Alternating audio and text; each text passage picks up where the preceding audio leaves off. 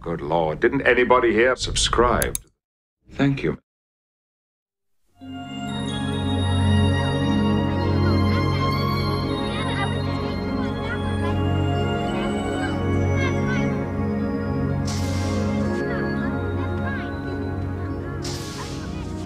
I hope you'll be all right. Alexander hasn't had much contact with other children.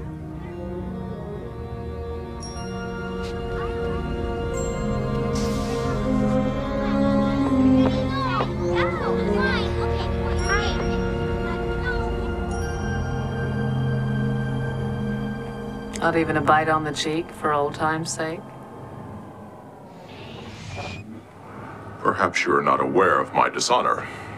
I have accepted discommendation. I've heard.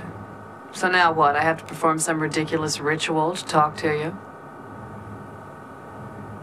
You may not respect our traditions, but I do. Sorry. I just thought you might want to talk. A few minutes ago, you looked like someone with a question to ask.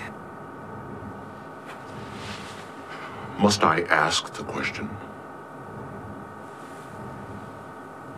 Yes. You must.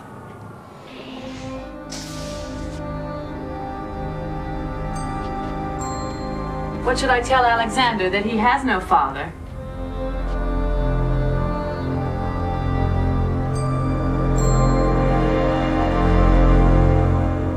The Klingon Empire is at a critical juncture. We may be facing civil war. War over what? The usual excuses tradition, duty, honor. The word excuses implies ulterior motives for a conflict. I won't bore you with the intricacies of Klingon politics. Basically, two factions are trying to seize power. You believe there's a threat to the Federation in this struggle? Klingon wars seldom remain confined to the Empire. Sooner or later, they'll drag in the neighboring star systems, then the Tholians, the Ferengi. The Federation won't be able to stay out of it for long. This has been coming for some time. Only K'mpec, the head of the Council, has been able to maintain the peace. Now something has changed that. Correct. K'mpec is dying. He is aboard the cruiser. He has come specifically to meet with you, Captain. Alone.